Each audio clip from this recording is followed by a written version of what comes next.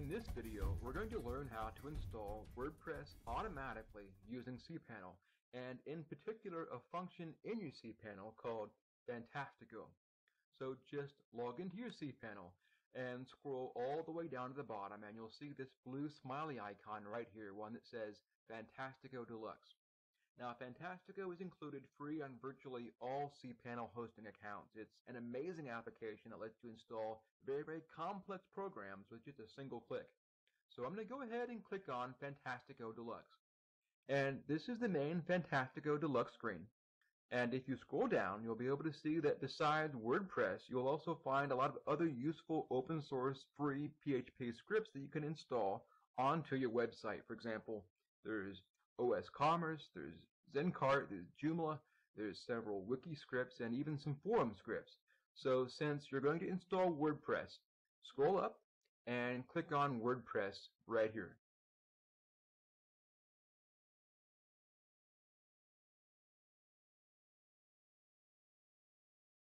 Next, click on New Installation. Okay, so this is the main setup or configuration screen for your new WordPress blog. And there's just a few fields here that you need to fill out, but the most important one is the field that asks you where you want to install WordPress.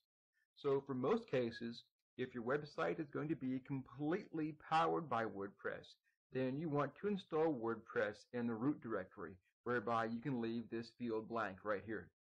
But if you want to install WordPress to a particular folder on your website, for example, if you want to install it in a folder called blog, then you can just enter the directory name blog right here.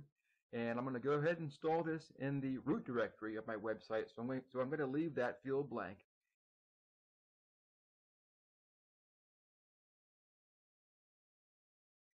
In my case, I'll usually just enter admin in the admin access field and give it a password.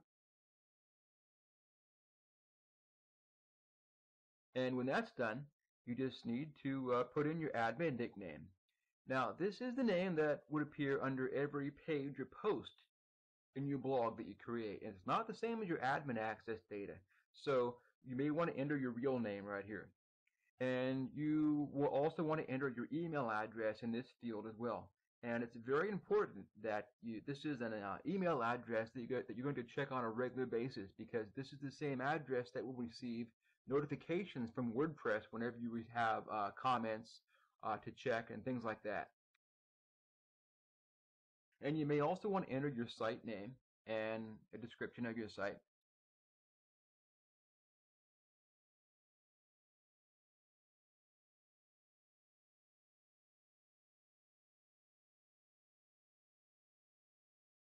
Okay, so when that's done, just click on Install WordPress.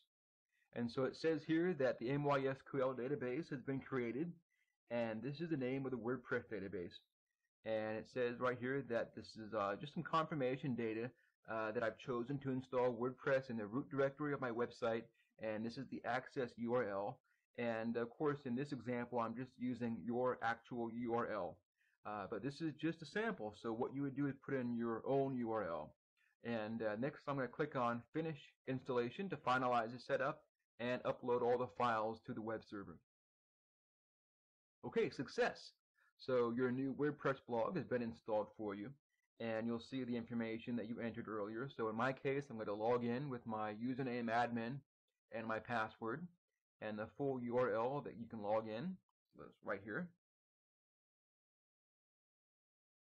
Okay, and now uh, if you want to have a copy of the installation details, you can have this sent to your email address right here. Just enter send uh, email, and this will send you a complete copy of uh, where WordPress was installed, username, password, etc. So I'm going to go ahead and log into the WordPress dashboard. And right here you can see I had successfully logged into my new WordPress blog. And you can see that the site name I've entered is right here. And if you want to preview your WordPress blog, then just click on the link that says Visit Site. And here you can see the default WordPress installation theme. And this is how WordPress will look each and every time you install it before you add a custom theme. And see, that's how easy it is to install WordPress.